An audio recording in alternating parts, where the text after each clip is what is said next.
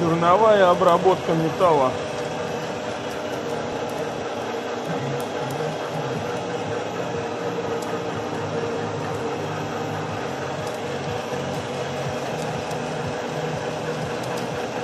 Нам этот валик нужно посадить вот в эти штуки. Две штуки. Заказ.